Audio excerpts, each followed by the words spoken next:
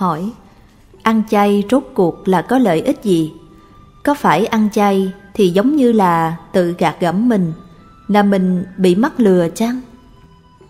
Đáp, Nếu quý vị ăn chay mà cảm thấy là mình bị mắc lừa, Thì chỉ là bị dối gạt khi còn sống Nhưng sau khi chết thì sẽ không bị gạt gẫm Nếu quý vị không ăn chay thì lúc sống không bị lừa gạt, Nhưng lúc chết sẽ bị lừa gạt Quý vị cứ lôi sổ nợ đó ra mà tính đi. Quý vị thiếu tiền thì phải trả tiền Thiếu nợ cái gì thì phải hoàn trả lại cái đó. Hỏi Con bị bệnh đau nhức khắp cả thân Vậy con phải làm sao đây? Đáp Thân này là giả Người tu hành không cầu không bệnh Vì nếu không bệnh Thì sẽ sanh lòng tham dục. Hỏi Xin sư phụ từ bi khai thị cho chúng con. Đáp Niệm Phật nhiều thêm. Hỏi Thưa sư phụ Giả sử như nhân quả Thì không sai một tơ hào Nhưng tại sao lại nói Không có pháp nhất định? Vậy là có ý nghĩa gì?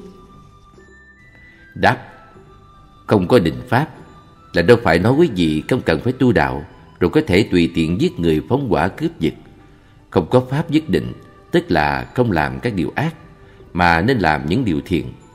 Bởi làm mà không làm Không làm mà là làm. Quý vị đừng nên chấp trước. Hỏi Có phải ngồi bán già là biểu thị cho tòa tháp bạc Và ngồi kiết già là biểu thị cho tòa tháp vàng?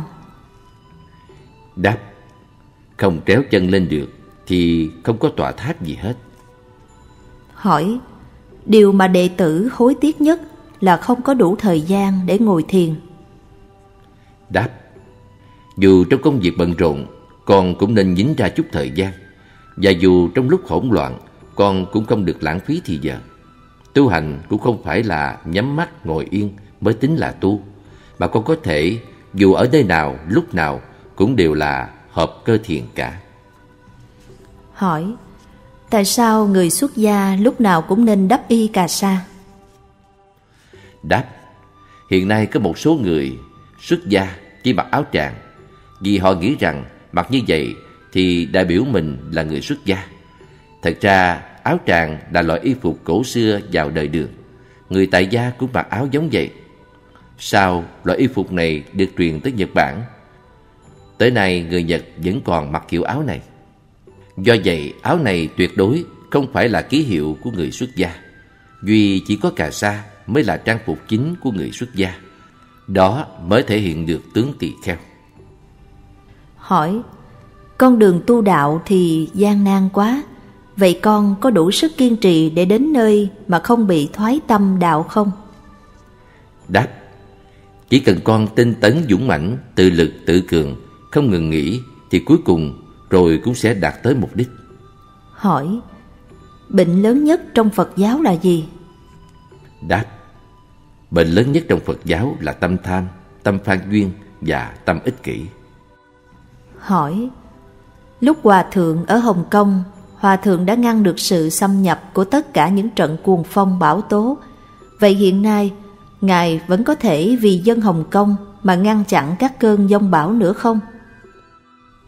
Đáp Con nên thỉnh cầu cho toàn dân Hồng Kông đều sẽ không chết Hỏi Tại sao lúc bình thường chúng ta phải niệm Phật?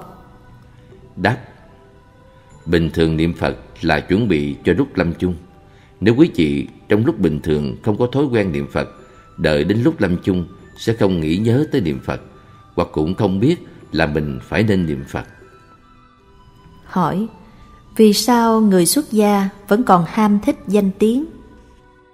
Đáp Vì thân họ xuất gia Nhưng tâm họ vẫn chưa xuất gia. Hỏi Đệ tử biết sư phụ không thích nghe người ta nói tiếng cảm ơn Nhưng đệ tử rất cảm kích sư phụ Vì Ngài đã nhiều lần cứu giúp cho tánh mạng của con. Đáp Thì nên phóng mở tâm lượng của mình cho rộng ra Chứ đừng có tâm địa hẹp hòi, nhỏ nhoi. Hãy mau hồi quan phản chiếu Để phục hồi lại cái bản lai thanh tịnh của mình Hỏi Phải chăng thật có chân lý hay đạo lý tuyệt đối vĩnh hằng bất biến tồn tại trong vũ trụ Nếu có thì xin hỏi đó là đạo lý gì?